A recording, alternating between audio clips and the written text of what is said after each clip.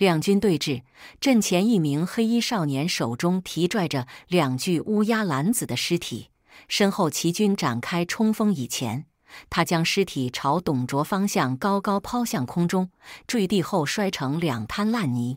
这样的寻衅，让董字大旗后的八千骑兵都咬牙切齿，加大力度握住手中利矛，下意识加紧马腹。这些久战沙场的老卒都趁间隙抓紧留心挂钩里的兵器，一旦相互嵌入阵型，早上些许抓住莽刀，就多一分杀人机会和活命机会。一杆黑底红字的鲜艳大旗迎风招展。这对位于逆风向平原上的董字大军来说，战马奔速会得到一定程度的滞缓。只是当老卒们抬头望了一眼那个猩红董字，顿时心无杂念，只等董将军一声令下，就要将这仅仅半数于己的疲惫之师碾压成灰。许多骑卒心中不约而同默念一首至蒲小谣：“董家儿郎，马上刀，马上矛。”死马背死马旁。董卓手中持有一杆绿泉枪，曾是提兵山的镇山之宝。董卓做成了女婿，就被提兵山山主当作女儿嫁妆送出。董卓身后有十八骑，战马甲胄都并无异常，只是不像董自奇那样清一色手中持矛马鞍挂物，兵器怎么趁手怎么来。其中过半人数都腰间悬剑。十八骑脸上也无老卒独有的肃杀气焰，相对意态闲适。但周围素来以眼高于顶著称的领兵校尉没有半点轻视，尤其是望向一名空手坐马背上的青渠老者，都有些由衷敬畏。毕竟提兵山第二把交椅，不是谁都有本事去做的。少年带着一头体型骇人的黑虎开始奔跑。董卓手中绿拳枪原本枪尖之地，猛然抬起，向前一点，两军几乎同时展开冲锋。当两支骑军拉开足够距离，并非谁先展开纵马前冲就一定占优。若是距离过大，一鼓作气过后，往往士气开始衰竭，第一矛递出的通透力也要折损。但是此次对垒而战。碰撞前的双方距离都可以保证将各自马速和冲击力提至极点。大地在马蹄锤击下震颤不止，黄沙弥漫。两线朝头向前，以迅雷之势推进。寻常骑战，不管是口哨还是嘶喊，冲锋时骑卒喜好出声以壮士。一些骑卒马术精湛的骑军，在对冲临近时。为了防止战马临阵退缩、损伤速度，都会有甩出遮马布，罩住战马双眼。只是四千龙象军和八千董卓军都尤为反常，皆是没有这类多余举动。骑卒与战马同时起伏，充满无声的铁血韵律。以十八骑为首的六十余提兵山五人和四千战骑已经冲出，董卓停马而立。身后带着两千游骑，其余两千游骑绕出一个弧度，避开正面，从左右双方以锥子阵型刺向兵力相对薄弱的龙象军。董卓静等一锤定音，双方初次接触便都是入肉入骨。一名龙象骑和一名董家骑兵几乎同时将长矛刺透胸甲，战马继续前冲，弃矛抽刀。两人侧身而过时，又各自劈出一刀。龙象骑一刀砍去那北蛮子脑袋，无视重创，侧头躲过一矛，正要拼死砍出一刀，给后边董家骑兵一矛挑落，长矛在空中挤压出一个弧度。被梁骑卒死前，一手丢出梁刀，一手握住长矛，不让矛尖拔出身躯。敌骑松手抽刀。弹掉飞掠而至的梁刀，继续策马沉默前冲。有两骑连人带马对撞在一起，战马头颅当场碰碎，骑卒跃起马背，两矛借势刺中敌人胸口，双方同时往后坠落，但都握住了矛，尚未来得及步战，一步战旗，就给双方跟上的骑兵准备一矛穿透头颅。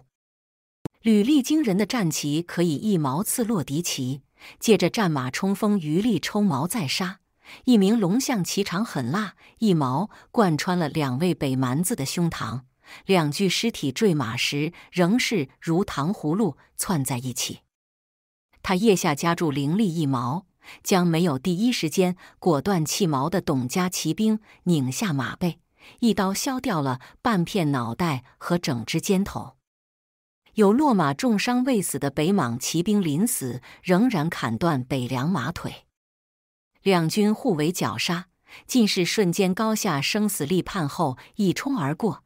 除去几名马战超群的校尉手不弃枪矛，在前冲途中不断抽杀敌骑，但也根本不可能说一骑慢悠悠前行，被十数骑兵围住，任由他一矛扫杀，更不可能因为碰上了旗鼓相当的敌将。反身再战几十回合，只有一个例外。这条漫长战线的中段位置，仍是出现一个有违常理的庞大空心圆。先前黑衣少年当空跃起时，给一名手无兵器的清瘦老者双手拍在当胸，轰然落地。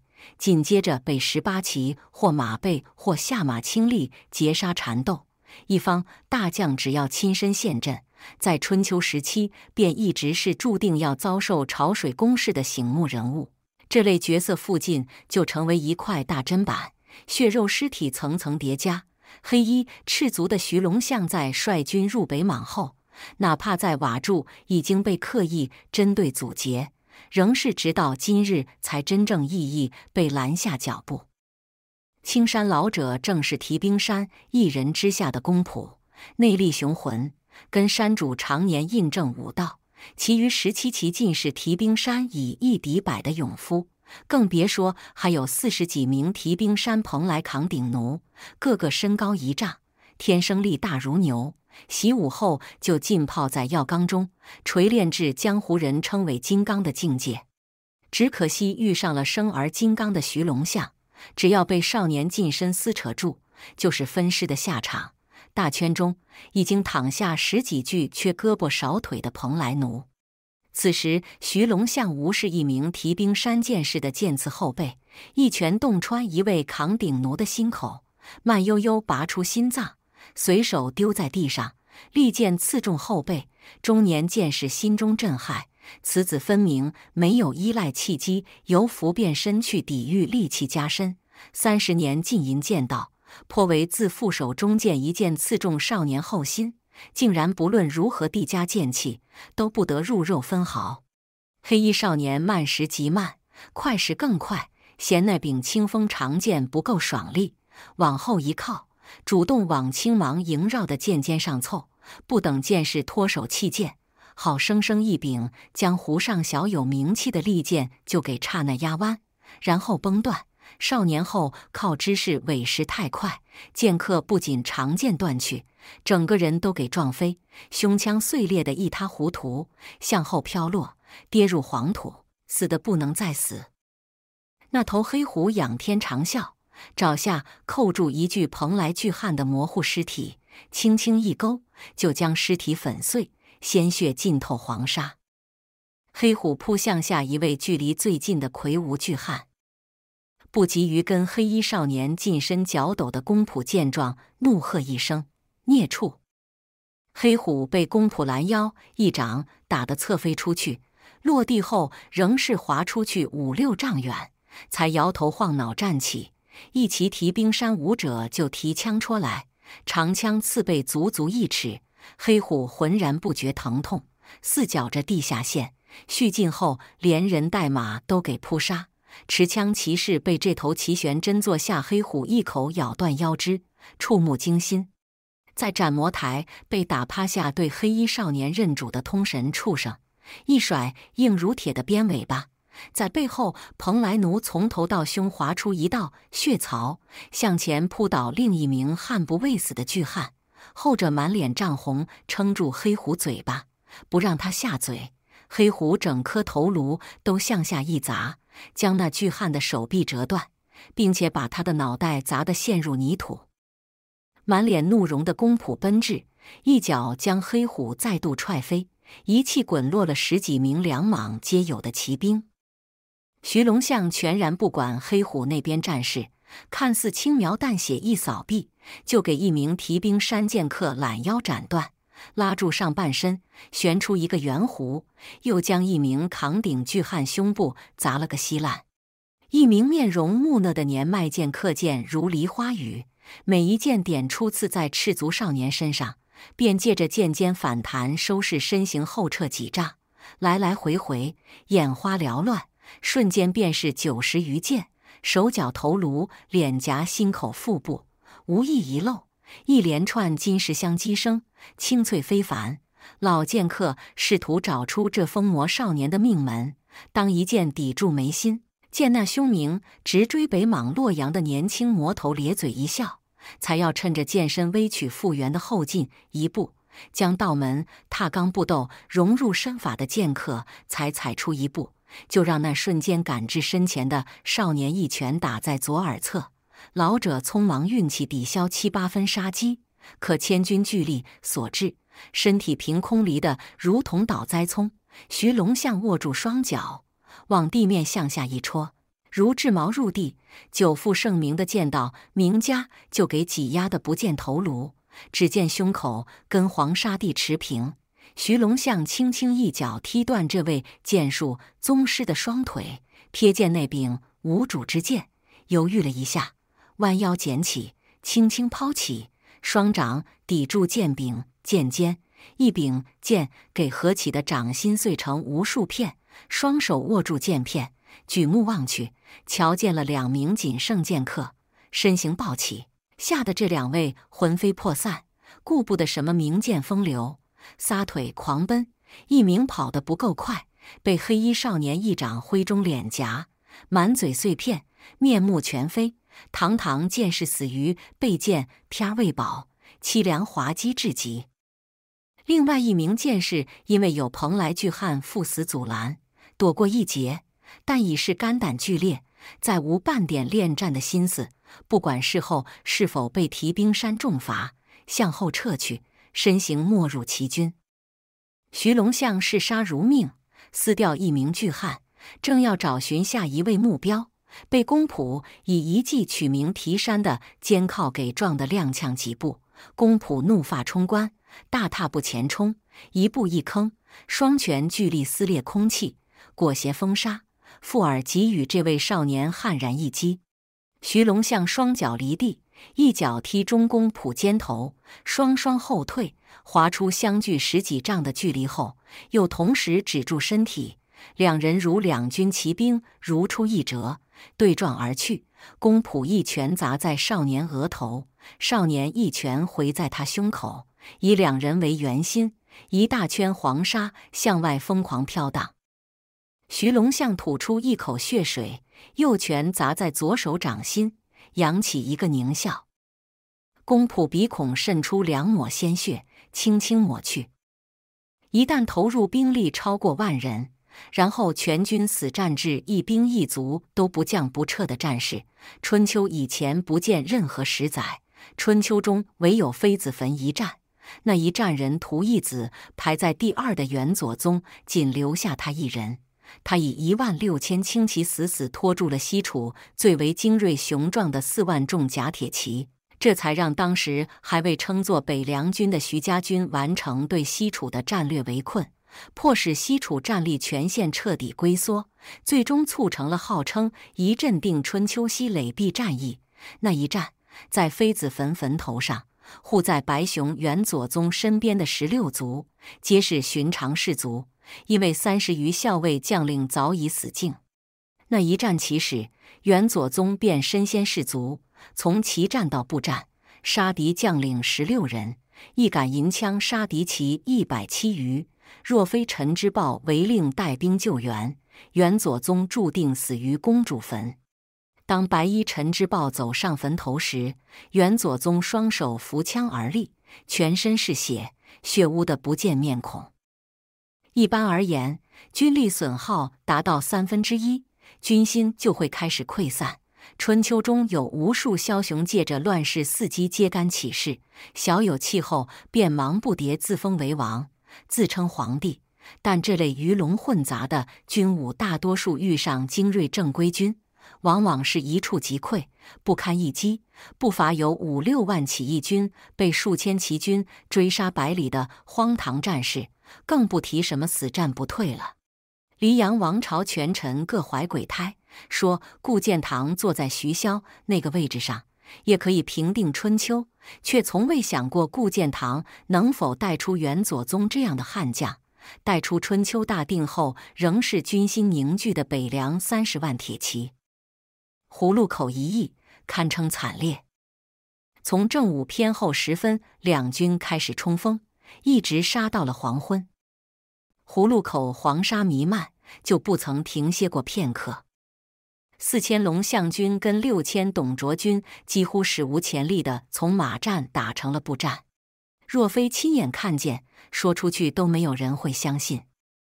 董卓能够在南朝破例占据三大军阵，在南朝庙堂上敢跟几位大将军红脖子瞪眼，是靠着董自齐麾下共计有六万豺狼之师，这六万兵马。女帝御驾巡边时，曾亲口询问这个董胖子：“他日战事大起，肯不肯拿六万换六万，换一个南院大王？”言下之意，董卓六万军马足可拼掉北凉三十万中的任意六万骑军。至于那个奸诈如狐狸的董卓如何答复，自然无人得知。董卓虽然面沉如水，但嘴角似笑非笑。身后两千游骑兵始终没有投入焦灼战场。